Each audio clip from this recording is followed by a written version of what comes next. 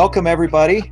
Thanks for tuning in to our live Zoom webinar or the uh, recording thereof uh, on YouTube.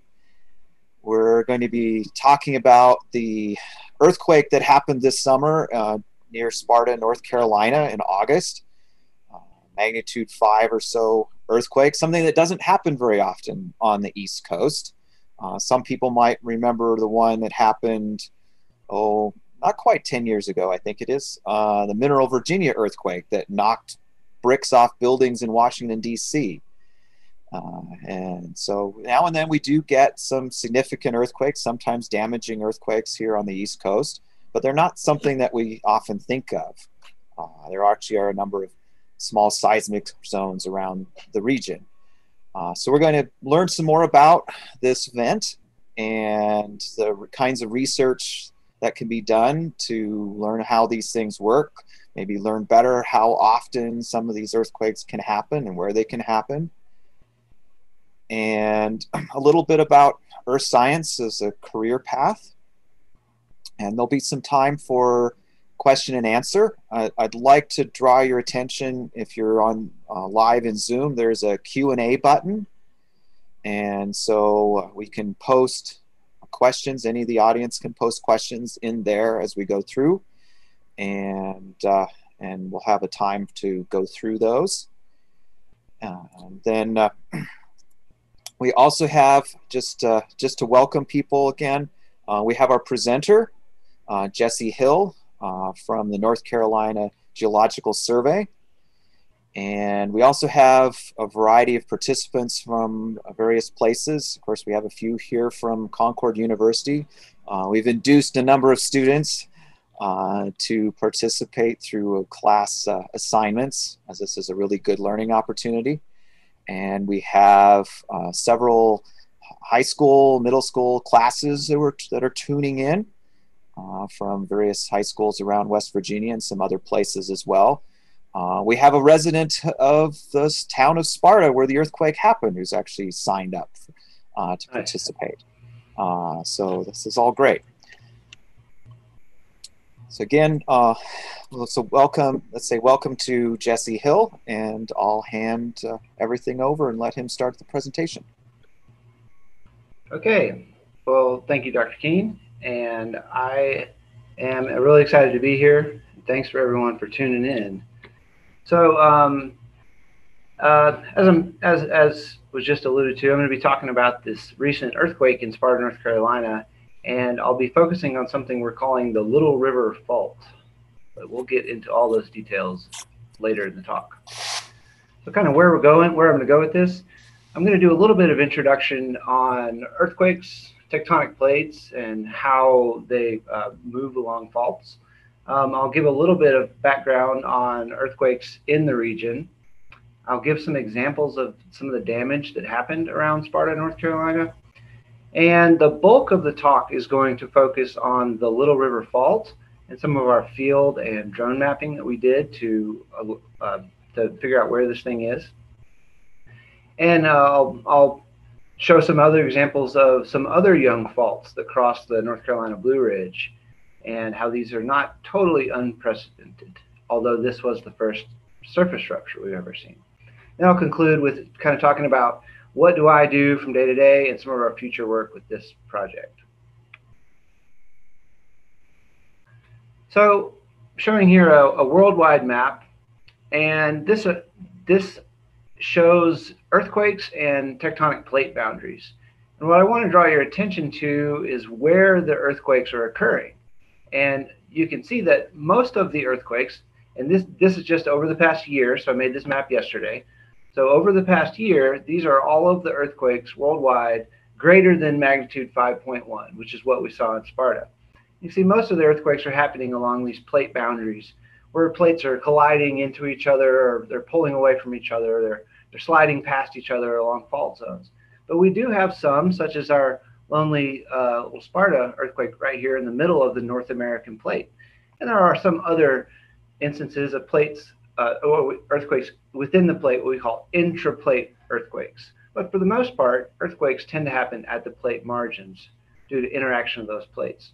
So when we have some something in the middle of the plate, we know that that's something a little bit odd going on.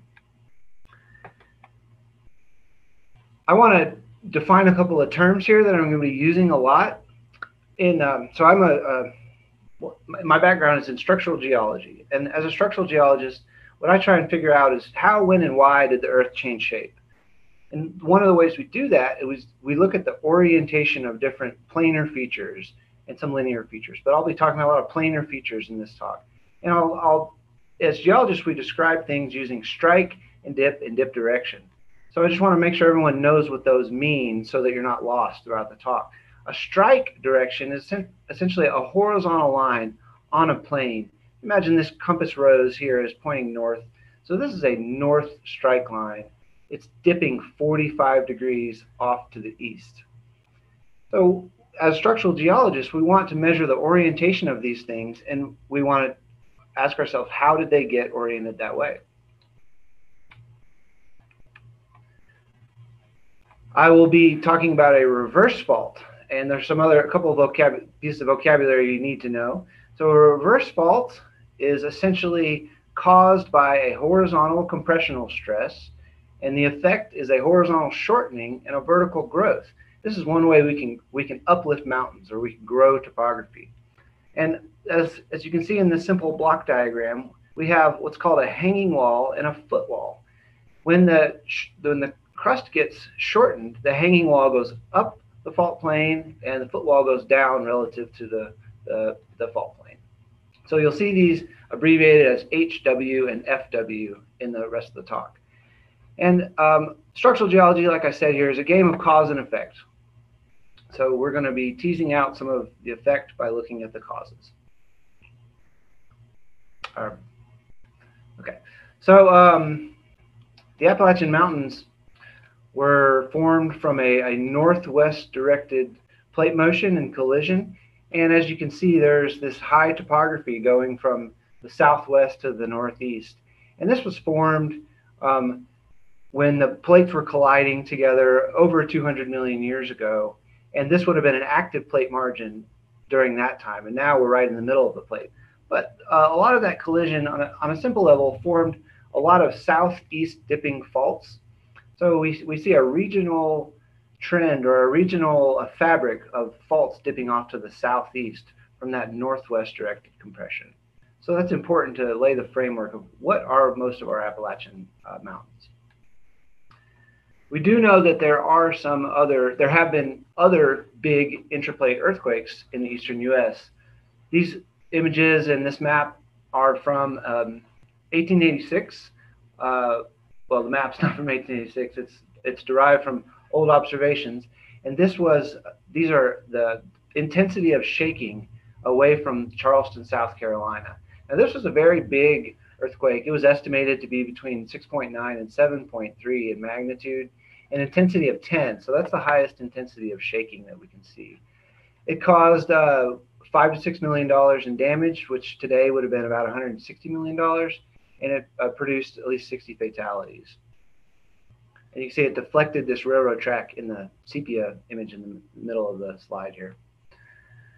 So in North Carolina, about 100 years ago, there was the Skyland earthquake, and this was estimated to be a magnitude 5.2, and it also had a pretty wide range of, of shaking. So that's also in the Blue Ridge in North Carolina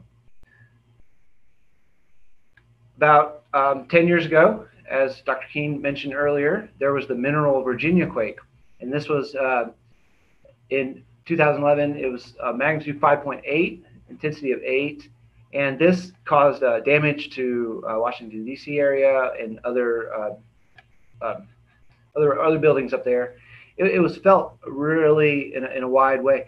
And I want, I, I think this map is interesting here because a similar magnitude, uh, even greater magnitude, 6.0 in central California is felt in a much smaller area. So perhaps we feel these um, events in the east because the rocks are older and colder and the seismic waves travel differently. And then this brings us to our recent earthquake in Sparta in 2020. And what we're looking at here is a, a map showing um, responses from USGS's Did You Feel It website. And this is a website where you can record your uh, responses. And there were over 100,000 um, crowdsourced responses, and it, it, seems like there were more of them to the south. But you can see it's a pretty broad area that it was felt. It's a magnitude 5.1 and it's intensity of six. So that's um, you know strong shaking with some light damage. There were there luckily there were no fatalities or serious injuries. Um, there were five foreshocks, and there have been um, over 200 aftershocks. In fact, there were uh, just five of them uh, a couple days ago. So we have some earthquakes. Uh, the, the, earthquakes are not just evenly distributed in the east. We have we have some active seismic zones, such as the Central Virginia seismic zone, which is where that mineral quake was. We've got the Eastern Tennessee seismic zone, which is very active. And then we've got the Giles County seismic zone. This Sparta may be part of that Giles County seismic zone. But we know that they don't seem to be randomly placed. They seem to be in these concentrated zones. There even are some up in West Virginia. So this um, shows earthquakes from the USGS database going back to 1901 and through um, this year. It's about 1,500 quakes they've got. And I just want to show this because it, it's not completely unheard of that we would, we would have seismic activity. On the right here, we've got the, the 200 or so events in Sparta. And this red line is showing what we're calling the Little River Fault. And you'll see that abbreviated as LRF throughout this talk. And this star is basically where the main event was, that 5.1 event. I want to point out that a lot of these aftershocks were less than 0.5 magnitude. So a lot of smaller ones, and um, but there were over, over 200 aftershocks. Now, this map on the left is from the Alleghany County Emergency Management, and it shows uh, locations of uh, known damaged buildings or other infrastructure. And as far as we know, all of this damage happened during the 5.1 earthquake. Uh, there may have been some minor damage in the aftershocks, but the majority of this happened during that main event. The Little River Fault is outlined in this blue box, and it's not one continuous fault plane like I showed in that block diagram, but it's rather it's a fault zone. It's a east southeast striking fault zone of many different fault strands. We were able to map out deformation for about two and a half kilometers, and parts of it are parallel to these uh, linear stretches of the Little River. Uh, we, we thought about calling it the Sparta Fault, but there's already a Sparta Fault in Greece, so we went with the Little River Fault. This is the, the same um, extent, but with the aerial image. And the, the Little River Fault Zone crosses uh, paved areas, forested areas, and agricultural fields. We see different surface, we see different deformation based on the surface material and where in each of these fault strands uh, you are. This map right here, I'm going to use throughout the rest of the talk in some of the slides. And you'll see a little yellow star to show you where you are on this map. We're going to kind of work our way from the west to the east throughout and show some field examples of what we mapped. There were uh, a lot of a lot of damage. There's a lot of damage in Sparta. It was uh, estimated somewhere greater than $15 million damage. There were a lot of down chimneys.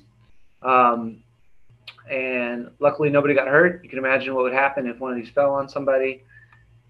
Uh, a lot of cracked chimneys, twisted chimneys. There's a lot of down chimneys. There were um, damaged foundations as well. So this is the, the VFW building. This is a really important uh, building for the people of Sparta. It sort of serves as a community center of sorts for, for, for many people there. So they had some pretty significant damage to their foundation there. And um, some of the, the other other buildings that were damaged, just, you can see that some of the blocks moved along mortar joints and some of them broke all the way through. A lot of masonry damage in Sparta.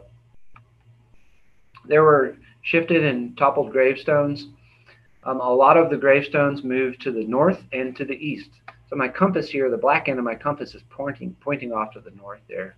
And we saw a pretty consistent pattern with gravestones shifting and toppling to the northeast.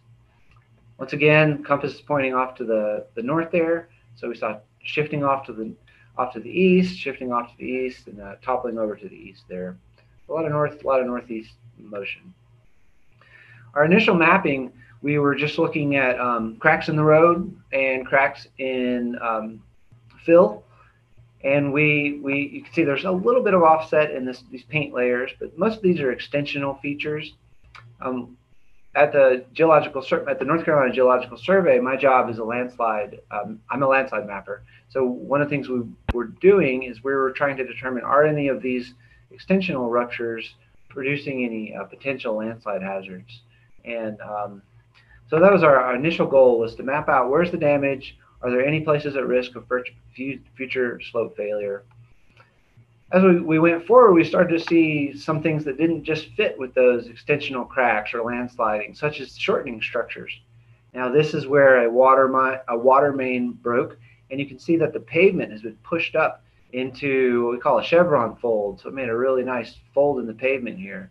Over on the right, this is where the asphalt has thrust over top of the concrete sidewalk here. So these are um, consistent with something else going on. That previous image of the asphalt uh, thrust over is right here in the center of this big map. And going across the map, there was a fault scarp. It was an east southeast striking fault scarp across the parking lot. And we were, we were able to measure um, about 20 centimeters of vertical offset. And if you look at this line along the top of the building, there's a pretty big bend in it right where that fault scarp reaches. So we, we pulled some strings and some used some laser levels and other techniques, and we were able to measure about 22 centimeters of bend where the fault scarp intersects the building. So um, here we've got our hanging wall and our foot wall, and we think this is north-northeast motion. So this, this block on the left has moved over to the right across this block on the right, and we had uh, about 20 centimeters of vertical dis displacement there. So remember this, this block here. So basically what we're seeing is that hanging wall pushing up over top of the, the foot wall there. But we always want to test our idea as a scientist. So we said, well, what if this isn't a normal, uh, a reverse fault, but this is a normal fault? Where now this is the hanging wall and the fault plane is dipping off to the north northeast, and this is just a big slide block. That could also produce this type of uh, surface, this surface scarp. So to test that idea, what we did is we dug a trench. So this is, uh, I'll go back here, right around the corner behind this dumpster along the trace of this fault. If you can imagine that goes through the corner of the building. Now we're looking right along this trench. And this is the surface exposure of the fault. Now this is the first time an earthquake has ever been documented to produce a surface rupture in the eastern U.S. Uh, to our knowledge. So we were lucky because there was a underneath the gravel there was a, a synthetic cloth layer that preserved this fault this fault geometry. And there's I'm, I'm pointing at the, the hanging wall there, and the fault plane is actually dipping off behind me here. And looking at the same same trench, um, this is the the the fault scarp, and it's only a couple centimeters of vertical offset there because we're near what's called the fault tip. So one of these individual faults is, is pinching off right here. But we were able to confirm that yes, this was north-northeast motion that produced a, a hanging wall thrusting up over top of the foot wall here. Another thing we noticed was this building behind the fault trace. There was this crinkling or wrinkling of the sheet metal paneling so that helped confirm the, the idea that this was north-northeast motion. And so what you're, this is a north-south stretch of the, the building right here. And essentially you had north-south shortening that caused this, what we call a crenulation fabric. Or you might see this in metamorphic rocks that have been refolded. And so essentially these are folds that formed because this section of the building got a little bit shorter. So looking looking at the trench, um, we want to look for offset in what we call marker layers. So there is a uh, fill layer that's underlaid by this red clay layer. I'm going to highlight it here. And we were able to measure somewhere in the order of 10 to 12 centimeters horizontal offset. And right here, like I said earlier, we're near the fault tip. So uh, we didn't have the 20 centimeters of vertical displacement here, but we were able to confirm that this was a a reverse fault and had, had broke the surface. It um,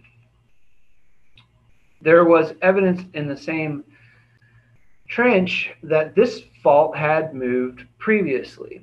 So we saw things like fault gouge, which is essentially a, a clay that's formed during the motion of a, a fault. And it, it, was an older fault gouge, so it pre-existed this motion. And then we saw a fault breccia. So I'm, I'm highlighting with these white dots, these chunks of fault gouge and other lithic fragments that got caught up in this fault zone. So essentially you're moving this hanging wall this direction and you're churning this footwall material. And you're, um, so this is evidence that this was not the first time the Little River Fault moved.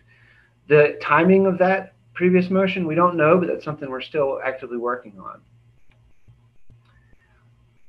Now we're looking at the fault plane itself. So these black, this black surface is made of manganese coating we call, uh, and, and these grooves that were in the, the fault plane are what we call slickenlines. And essentially these are recording the slip direction of the fault.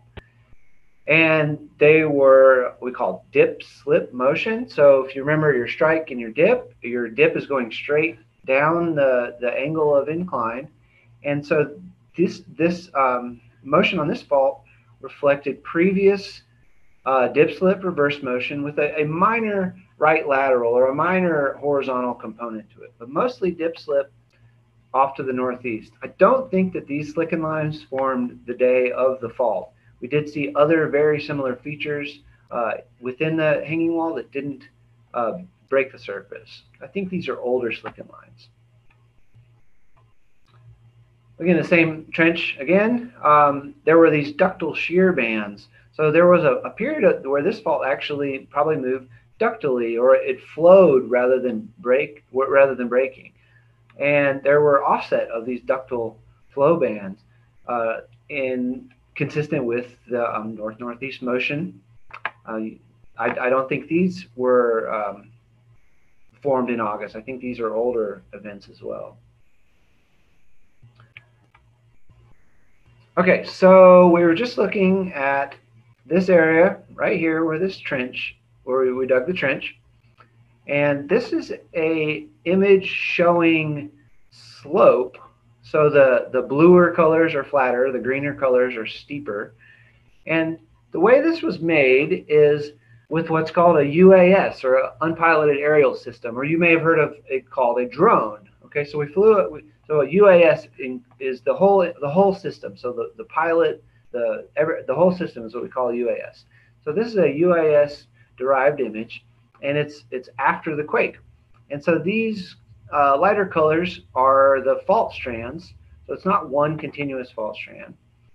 And these uh, profiles are what we see. So if we're going from B to B prime as we go uh, downhill this way, we, we see somewhere in the order of 10 to 12 centimeters. So that's fa fairly consistent with, with the 20 centimeters we measured over here in the middle of this fault strand. And it's, it's what we call an en echelon pattern. So rather than one continuous pattern, they're sort of steps. And this, this continued uh, in other parts throughout the fault zone. So uh, we're, we're moving on a little bit to the east. So now we're sort of in, closer to the center of the Little River Fault Zone. And this is where that water main broke along what's called River's Edge Road. And this photo was taken by one of the local homeowners. And so this is the only photo we have of this uh, before any we before we saw it or anybody else took any pictures. This was this was flattened and um, uh, gravel was uh, they, they, put uh, gravel down. But anyway, it shows that the the the, the direction of this folding is consistent with a north-northeast motion. So we're looking sort of down to the south-southwest and this hanging wall thrust over top of the footwall. Uh, same location, but after they fixed the road. So they've uh, there was a vertical displacement here um, that continued through the grass. It wasn't as drastic as what we saw on the pavement, but um, it was definitely noticeable. And so we dug another trench here. So this, this pile of dirt right here is the same pile of dirt you see here. So our, our the red dashed line show the, the fault surface trace. And this was a little bit different um, than what we saw previously, where it was a fault that was breaking weathered bedrock material.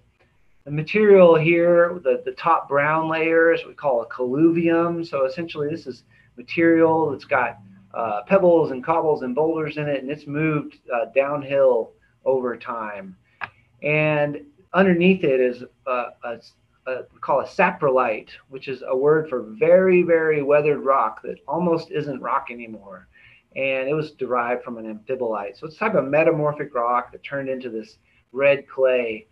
And there, there were no mappable offset of these layers. So here we're seeing surface flexure, but not surface rupture. So we think this is above what's called a blind fault. And just to, to figure out where we are, so we're just looking at trench two over here. Now on the, the left, I'm showing a pre-earthquake LIDAR surface model. And so LIDAR is essentially, it's like radar with lasers. So they would have flown this from a plane and they shoot millions of lasers down at the surface and record when those return. And then they can process, process that into a very high resolution digital elevation model or digital surface model. So uh, this was pre-quake here, and this is post-quake over here. And um, let's see, let's this is post-quake here. And so we're seeing the, the, the surface rupture come right through here. And now the elevation profile, which was pulled off of the post-quake digital surface model, shows a similar about 20 centimeters of offset.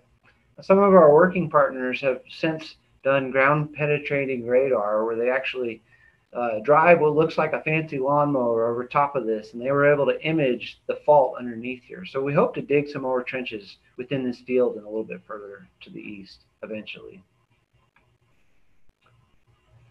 Um, so this is supposed to be animated, I guess my GIF doesn't seem to be playing here. So we did find another rupture going through here. Uh, so I apologize that that's not animating. But we, we found another rupture running right through here. And um, here's here's some images of it. So this this actually did rupture. So this wasn't just flexure. So we we we want to dig another trench here, and we we're seeing about a 20 centimeters vertical offset. So the Little River Fault, it seems like it made parts of the crust 20 centimeters higher. So going back to how do we build mountains through these compressional events? Well, this is a one way you do this incrementally over a long, long period of time is through this reverse faulting. And we want, like I said, we want to dig another trench here because um, we think this will be a good place to see the actual fault rupture. Okay, so this is the image I showed earlier, and these are all of the earthquakes that are um, that have been recorded around Sparta. And so our green dots show our greater than 0.5 magnitude. And here's here's our shake damage. Just to recap, th this was estimated to be at about 7.6 kilometers depth by the USGS. So the the question is, did this fault at the surface, did it is it the same structure that moved at seven and a half kilometers depth? That would be fairly extraordinary for something as although 5.1 is is moderate in size, it's not quite big enough to cause a rupture from seven and a half kilometers depth all the way up to the surface. So there might be something else going on there. So the, these block diagrams show um, a projection of the Little River Fault, which is drawn in red, down into the crust. So we're, looking at about the bottom of the box here, something like 13 kilometers depth. And this here, this large sphere, and all of these spheres are the, the earthquakes, not just in two dimensions like we were looking at here, but we're looking at in, in three dimensions. So they're, they're based on how uh, the, the size of the sphere, says how big it is. So this is our, our 5.1 event. And it's it's it's further below the surface uh, of the projection of that fault trace. Um, so here's looking off to the uh, looking off to the west here, and we see our, our 5.1 event is way down here. A lot of our aftershocks are further up.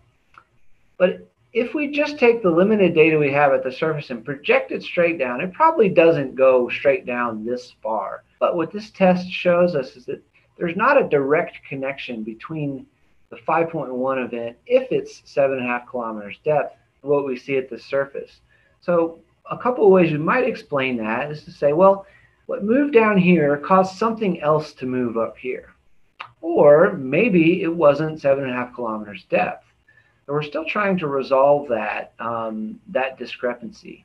Now, this image over on the right is what's called a focal mechanism, or sometimes you'll hear them called beach balls. And I'm not going to get into too much of this, but basically what we want to see here is that one of the nodal planes, or one of the estimated fault planes that the USGS predicted moved, was this one. And it's dipping off to the northeast, which is the opposite direction of what what we're seeing here. Now, this one would have been a north-south motion, so that doesn't really match the strike either.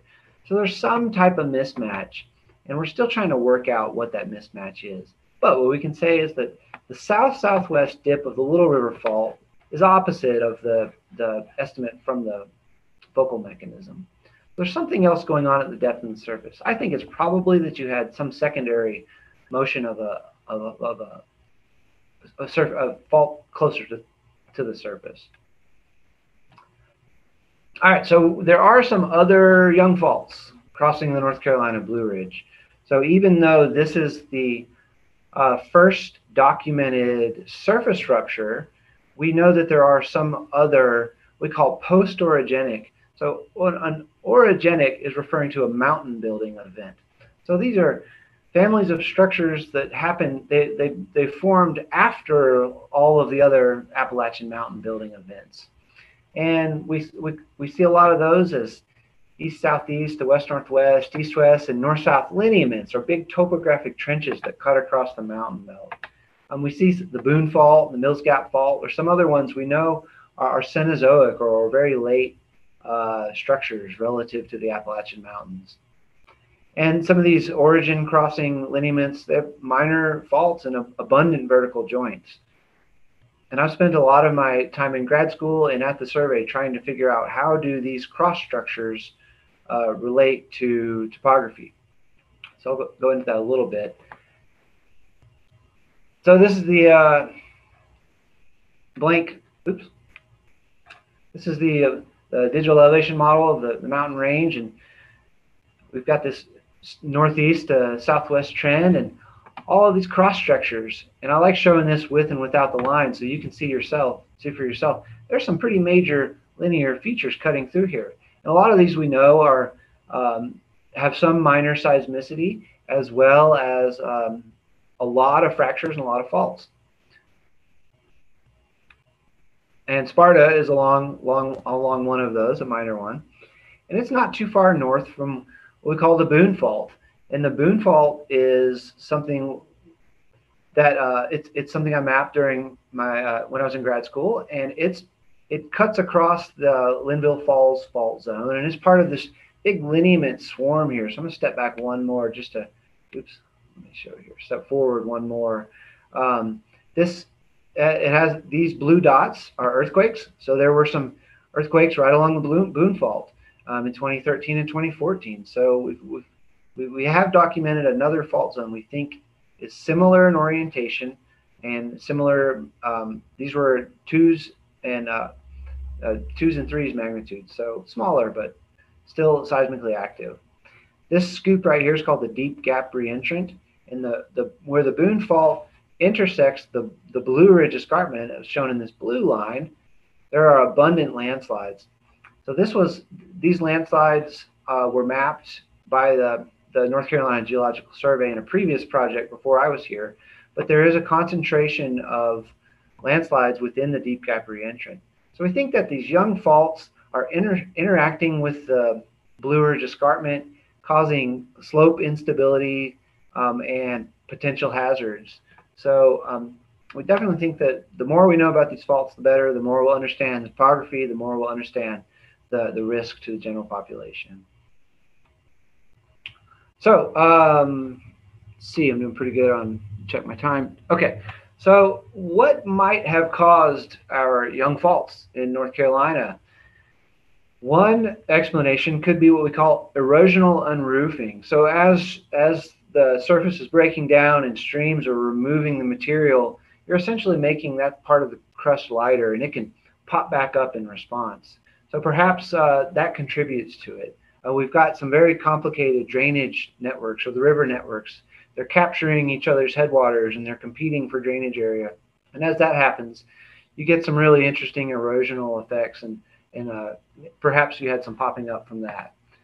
One uh, explanation could be that we have what we call lithospheric delamination. So the lithosphere is essentially the crust in the very, very upper mantle, and it's the, the hard plate that's moving around on those tectonic plates.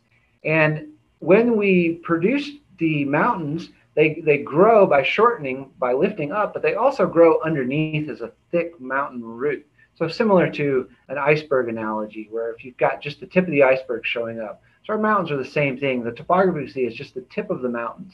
The, there's a lot deeper mountains underground, the lithospheric root. So that could be falling apart. When that falls apart, it essentially lets the crust pop back up.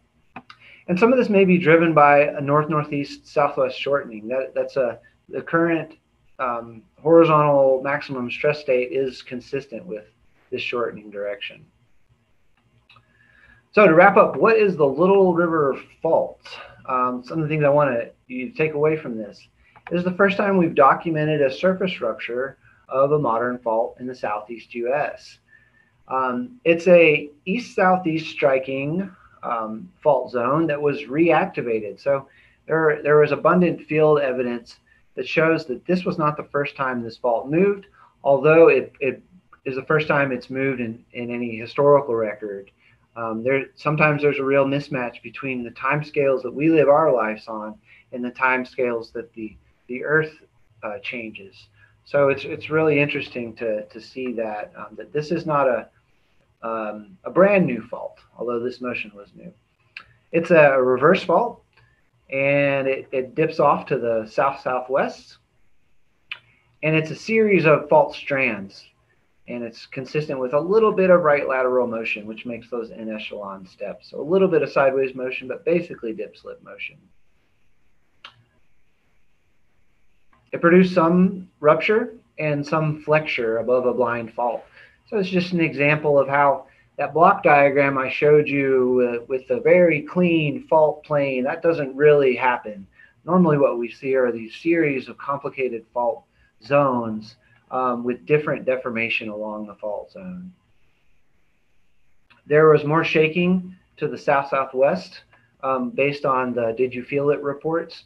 And perhaps that had something to do with that is where the, the hanging wall was. Perhaps it had something to do with those earthquake waves propagate through the the Blue Ridge and the Piedmont in a different way than they do through the Valley and Ridge and the the Appalachian Plateau. I'm not exactly sure why that shaking was asymmetrical. Uh, it's the, the trace is parallel to a uh, topographic lineament or one of these cross structures. And so perhaps if we, this is a reactivated fault zone, uh, so that lineament may be the result of previous fault motion. It crosses the northeast southwest structural grain of the southern Appalachians. So this doesn't fit um, as an older fault that just reactivated. It's, it's not just one of those older collisional faults that were formed over 200 million years ago when the Appalachians were building into the scale of an Andean mountain range. So it's essentially a young fault in an old mountain belt. It's not the only one. We, we saw some of those, we see some of those other ones. So what we're still working on here, um, we're continuing our field mapping. We, we think that based on how big the event was, how long the fault zone, um, that's probably about the extent. We don't predict that we would see any recent motion much further than our two and a half to three kilometer long fault zone. we're looking in some details at the, the damage to infrastructure and see what that tells us about shaking directions. Um, that may help us understand how things moved and what direction they moved. But um, we want to, the, the ball is rolling on getting a post-quake LiDAR flight. So the UAS derived digital surface models we made are great because we can get them within a few days of flying it, but uh, it's a limited area. So we're going to get the, the entire area flown with LiDAR again. So that'll give us a, a good way to really see how much of the, the crust moved and where did it move. We're going to do some more trenches and uh, that's sort of pending some other shallow geophysical studies that some of our research partners are, are heading up. And we want to do some analysis of the streams and um, the other geomorphic um, patterns that may help us see signs of, of possible faulting. And we uh, one, of the, one of the big questions is recurrence interval. So uh, I don't have that right now, but it, hopefully we'll figure that out in the future um, because we may never see something like this again in our lifetime. We it may happen today. We, we don't know about these things, but um, we want to try and determine a recurrence interval. Okay, so I'm going to hop away a little bit from Sparta, and I'm going to spend the last uh, few minutes here just talking about uh, what I do at the Geological Survey. So at the North Carolina Geological Survey, um, I'm a geohazards geologist. Most of what I do is landslide mapping, and I really like it. I, I love my job, absolutely like it. I've been been on board for about 18 months. Um, this is my first uh, geology career position, um, but I, I'm I love it every day. I'm super happy to be here. So what, one of the things we spend a lot of time doing is flying the drone. So as you can see in this upper image here, I'm flying the drone over a pretty big uh, landslide in Polk County here. Um, I, I've, I'm, I'm here, I'm, I'm standing on the track of a recent debris flow. And so a lot of our, our mapping is with slides, but it's also with these channelized landslides or debris flows.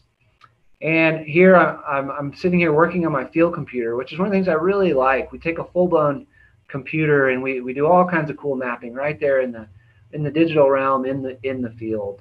And these rocks in front of me here, these are not this is not bedrock. These are loose rocks that have moved down the hill. So I just love this picture because it shows how big some of these boulders really are. When we think about a boulder, we often think something you know you see in your yard, but these are house size, building size boulders. And I just want to point out, like I'm outside all the time. I love it. So um, for for someone who who enjoys being outside, geosciences was the perfect career for me. Where we're doing cool technology with with drones and field mapping on computers, and but we're hiking and we're really investigating fun questions, and I, I just love it so much. Um, so you know we go out uh, in rain or shine sometimes, um, but that's fine. I, I, I love it. Um, we've got some monitoring stations here. So here we're, we're updating a, uh, a service panel. So this, this is a, there's a rain gauge behind us and we're actually actively monitoring some big landslides to see are they moving. Um, we do some ur uh, urgent and emergency responses. So these are in the Nantahala Gorge. There were some pretty big debris flows uh, in, in 2019 that we, we mapped. And I, I enjoy being part of that as well. So I'm just as happy as I can be to be a field geologist. And it's something I always knew I wanted to do. I just didn't know it was a thing until I knew it was a thing and I knew it was my thing. So, um, okay, let's see. Now, things obviously changed with COVID-19. Um, so these images, these these images here, you see we're all we're all masked up, and luckily we're still able to work. Um, we we never lost any work. So I'm grateful for that. We transitioned pretty easily into remote working because of the nature of our work and a lot of our data are stored on remote servers anyway. But it makes things a little bit difficult, but we're still we're still working. Um, so this is a, a quarry in, in, Sparta, and you can see this is one of our um, work meetings out in the field. So we still socially distance, and um, this is a a toe of a landslide here. So it's similar to the reverse fault, but this is just the slide going over top of this. Uh, okay, so let's see. Okay, so I just want to say thanks to Dr. Kuehn and for Concord University for inviting me. It's always a pleasure to talk about geology. Um, this project has had a lot of lot of partners in it. So as soon as this happened, we jumped right in with uh, here at the state survey, but we partnered with North Carolina State University, UNC Chapel Hill, with the USGS, and with the Virginia Department of Mines, Minerals, and Energy. And so thanks to all these people who are on this slide here. Uh, science is definitely not a lone ranger adventure, and um, we, we, we, couldn't do it without partnering up. So thanks to everybody who's helped. Thanks to uh, the people of Sparta. They were really, really helpful, uh, letting us on land and um, super nice people. So a pleasure to work up there. Um, okay, with that, I I think I'm all done here. So thanks for listening and I'll take any questions you have. I, I'm going to stop my screen sharing so I can see the question list as well. But I think Dr. Kuehn is going to field the questions. So yeah, so thanks, Jesse. That was a really great talk. Uh, we learned a lot about earthquakes in the area, and a little bit about some landslides too. So if there anybody has any questions, uh, we do have the the Q and A. Uh, there's a little Q and A button and ah, here we go. We got the first one just popped up. Uh, so, do you think there could be strong earthquakes in West Virginia as well, uh, including maybe big ones? Well, um, let me. I'm actually going to show my screen again here. Uh, I can find where to do that. Well, okay, so I'm not seeing my screen share. Anyway, so there, there could be. Um, yeah. There are some um, events in Western North Carolina. There, I don't know of any uh, greater than five magnitude, but it, it looks like um, it, it's always possible. The the Appalachian Mountains, I like to think of them as they're they're very old rocks, but parts of them are young mountains. We know there are so some of the highest topography we see in West Virginia is in the Appalachian Plateau. So it's a little different than what we we see um, different else elsewhere. So perhaps the Appalachian Plateau is higher because of some type of uplift or some type of delamination that could yield earthquakes. So it's, it's possible. I don't want to rule it out. We have another question. Uh, this one is about field work uh, in response to an event like this. Do you have to work quickly because people want to fix roads and homes? Uh, does this make your job harder? Oh yeah, it does. That's a so that's a really good question. Um, and to illustrate that perfectly was that uh, the place at the River's Edge Road where there was that really nice structure, and by the time we got out there, it was all flattened we do have to work quickly, and um, it's it's kind of it's a it's a bittersweet reality because I enjoy getting out there and partnering up and just being right there in the moment of it. Um, and we see that with our landslide responses as well. Um, but we want to work quickly also from a hazard standpoint because we want to know are there other things that are potentially dangerous to people as well. And that's something that comes into play with this earthquake response as well as with our day-to-day landslide response. So um, it's, it's sort of shifting gears between our day-to-day work where we're doing these countywide inventories to uh, detailed responses. Um, so yeah, you want to work quickly, uh, but you, you don't want to you don't want to miss the details. So that's a uh, a balancing act there, I suppose. So yeah, excellent question. The next one. Um, what is the largest earthquake recorded in or around West Virginia? Uh, is there any evidence for major ancient earthquakes in the area? Oh, that's an excellent question. Well, we know that the, the Mineral quake was a 5.8, so it's not an ancient one. In terms of ancient ones, it's, it's hard to know exactly how big they were. Um, I I suppose if we want to go all the way down the geologic time scale, I would say the biggest ones that happened in West Virginia probably happened during the assembly of the mountain range back in the Paleozoic. And I don't know what how big those were. But in terms of uh, old but not ancient, there probably were some big ones there. I, I confess ignorance. I don't know the, the exact biggest one in, in uh, West Virginia. But uh, the, the, the Mineral Virginia one was probably big enough where a lot of people felt it there. Really good question. Yeah. I'm not, I'm not, not sure about the, the absolute magnitude there, though.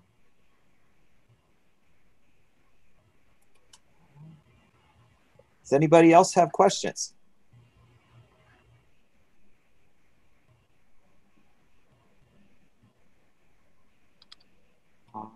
Well, maybe I'll throw in one.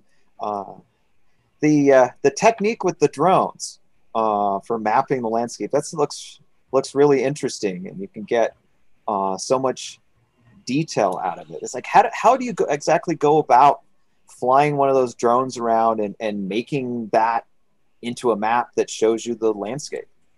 Oh, okay. So this is this is really cool. This is one of my favorite parts of what we do, and it's it's uh, so essentially the drone is collecting a lot of two dimensional images, and then what we do is uh, sometimes we'll do a manual flight where we're just trying to fly a a grid pattern, um, and and um, we do it manually and just try and track where you you catch, capture a bunch of two dimensional images. And sometimes we have a pre-programmed flight where we have a flight path. We'll tell the drone we hit we hit go and it flies that flight path. But essentially, either way, we, we collect a lot of two-dimensional imagery, and then we plug it into our computer and we run a program called Drone2Map. And it essentially is uh, synchronous with Esri products and it um, what it does is it looks for common pixels in each of those images. And so it will take all of those images and stitch them together. And then the real uh, wonderful thing is it takes all that two-dimensional imagery and it produces a three-dimensional surface. So with just one two-dimensional camera and a lot of photos we can make detailed very detailed three-dimensional surface models and then to take it a step further, something we do with our landside mapping um, is we would fly multiple flights over time. So we can look at a landslide change shape over time. So that way we're really going from two dimensional to three dimensional to four, four dimensional. So it, it's a pretty fun product. And we are uh, all the time figuring out new stuff. My coworker, Corey Scheip, he's really spearheading a lot of our uh, those, those projects, and it it's really fun to be part of because it's always something new, and but it's become a major part of our field workflow, and it's a fairly affordable system um, once you get trained to use it and whatnot. But opens up all kinds of doors. Um, really time traveling, you know, with with the drone to get to that four dimensional mapping.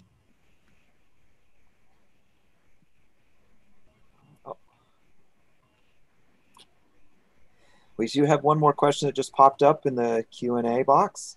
Uh, okay. How far from a plate boundary can an earthquake be?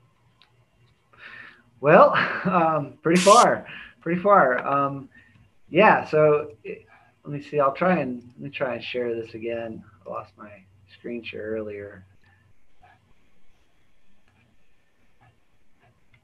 Okay, so I hope hopefully you're seeing this PowerPoint here. So we know that, I mean, just to take Sparta, for example, we've got the, uh, it's right in the middle of it. So, um, you know, that's a, a long distance, you know, whatever, that's going to be thousands of kilometers away there. We've got some that are right in the middle of the African plate as well. So they don't have to be driven by the plates interacting with each other. The plate can sort of be changing through vertical changes, you know, so it, if something is dropping off from the bottom, that's going to make the whole thing move up. Um, so that could be one way to, to drive some of that intraplate activity. I think intraplate seismicity is a very interesting field that's wide open for, for good research, um, trying to figure out what, what, what drives these things. So. And there's another one in the chat how is it that older and colder rocks produce a longer range of feeling earthquakes? Ah, okay. So think about it this way. If I took a, a tennis ball and I threw it against a brick wall, it's going to bounce off differently than if I took that ball and I threw it against a sheet that was hanging up. Okay, so just, you've got this softer material, it's not going to shake quite the same. So essentially, it, it comes down to, uh, really technical, what's called bulk modulus, the compressibility of something. But you can think of it as just how hard is it.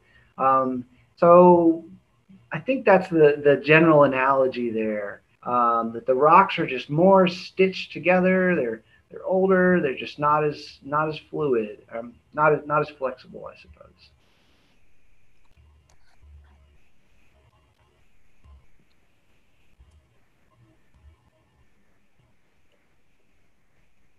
You know, we've got like uh, like in a recording studio, the sound baffling they put around is like big squishy stuff that essentially is softer, absorbs the sound.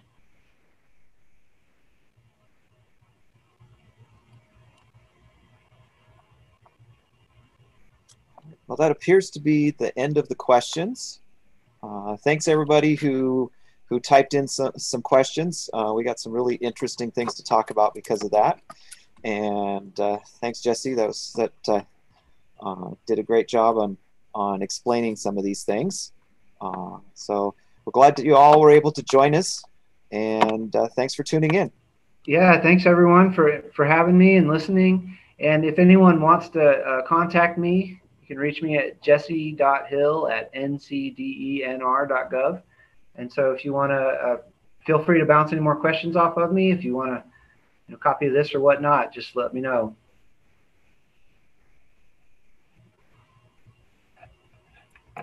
And thanks again, Dr. Kuehn, for inviting me.